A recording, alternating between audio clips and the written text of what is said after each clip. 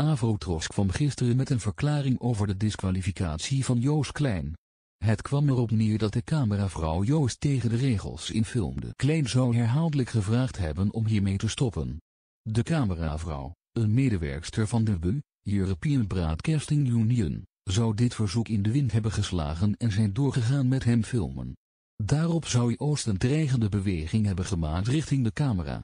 En dus niet richt. De vrouw voelde zich bedreigd en stapte naar de politie, waar ze naklacht heeft ingediend tegen Joost. Haar werkgever, de BU, besloot Joost te schorsen. Die schorsing werd naar een politieverhoor omgezet naar een disqualificatie. Dit zorgde voor veel onbegrip bij heel veel mensen. Konald Maas haalde verwoesterd uit in de richting van de BU. Meerdere artiesten maakten statements, en ook online ging het flink los. Voordat het Songfestival begon, scandeerde een groot deel van het publiek uit volle borst Europapa Nokuran, directeur-generaal van de organisatie, verklaart nu tegen Sverigers Radio dat de cameravrouw een heel ander verhaal heeft dan wat de Avrotros naar buiten heeft gebracht. En dan wil iedereen natuurlijk weten wat dat verhaal... Maar daar wil Kuran helaas niets over kwijt.